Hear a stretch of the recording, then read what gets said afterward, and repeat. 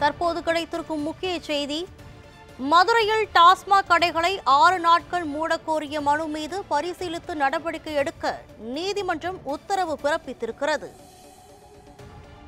தற்போது கிடைத்திருக்கும் முக்கிய செய்தியாக இதனை பார்த்து வருகிறோம். சித்திரை திருவிழாவை ஒட்டி மதுரையில் உள்ள டாஸ்மாக் கடைகளை ஆறு நாட்கள் மூடக்கோரிய வழக்கு தொடர்பாக இந்த உத்தரவானது பிறப்பிக்கப்பட்டிருக்கிறது.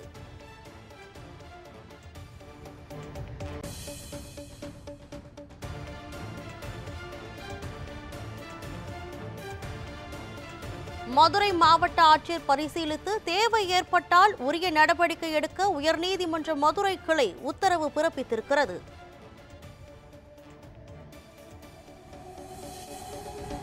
மதுரை மாவட்ட பாஜக தலைவர் மகா சுசீந்திரன் உயர்நீதிமன்ற மதுரை கிளையில் பொதுநல வழக்கு தாக்கல் செய்திருந்தார்.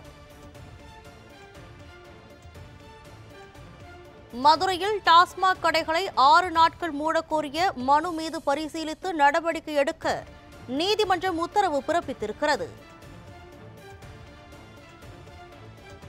டாஸ்மாக் கடைகளை ஆறு நாட்களுக்கு மூடக்கோரிய வழக்கு தொடர்பாக நீதிமன்றம் தற்போது இந்த உத்தரவை பிறப்பித்திருக்கிறது. சித்திரை திருவிழாவை ஒட்டி மதுரையில் உள்ள டாஸ்மாக் கடைகளை ஆறு நாட்கள் மூடக்கோரிய வழக்கு தொடர்பாக இந்த உத்தரவானது பிறப்பிக்கப்பட்டிருக்கிறது.